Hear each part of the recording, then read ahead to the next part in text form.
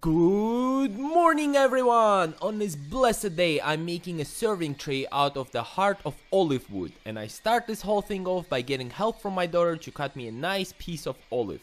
She got to use the middle piece and I used the edge since it had two hairline cracks in it. Once that was done, my daughter helped me out to plane the whole thing smooth. The piece was warped a little bit, so at first I had to use a few wedges to make sure to get the bottom perfectly plain, and once that was done, I worked on the top. I was being extra careful not to take too much off since I really liked how thick this piece was, so even though I tried to smooth out imperfections on the plane, I left just enough so that I could remove it easily by sanding. And now it was time to take care of these very small hairline cracks, and also two craters in the middle that were a little bit too deep for my liking. So at first I applied a little bit of glue to those spots and then I used Dremel tool to generate fine sawdust. In the past I have tried storing sawdust in Ziploc bag for future use, but noticed that somehow fresh sawdust always works best. The piece I'm using to generate sawdust is also olive wood, so hopefully colors should be matching.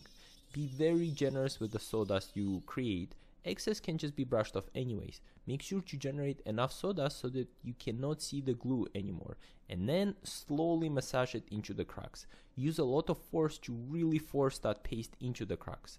Once you feel like you are done, brush the rest of the sawdust off. If you leave it, the glue residue will actually make it stick and it will take more time to get it off using the sander. I usually let the whole thing dry for 2 days after I'm done.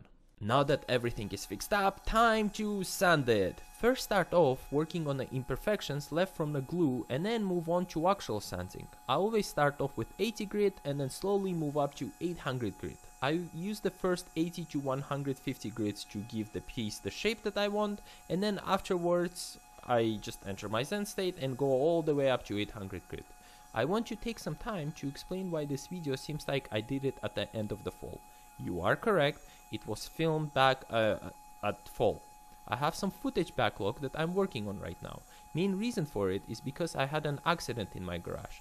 The wall that was holding all the tools has collapsed under the weight of the shelves and nearly killed me. So now I'm stuck in a huge process of figuring out how to rework my garage. Space has always been an issue in there, but with the wall collapsing and nearly killing me, I now have to think of alternative means of storing my tools safely. Anyway, now that the sanding is done, it is time for me to oil it up. This is the most favorite part of mine, especially when it comes to olive wood. Olive wood always has this explosion of colors everywhere as soon as oil touches it, and with each coat of oil the colors get more and more pronounced.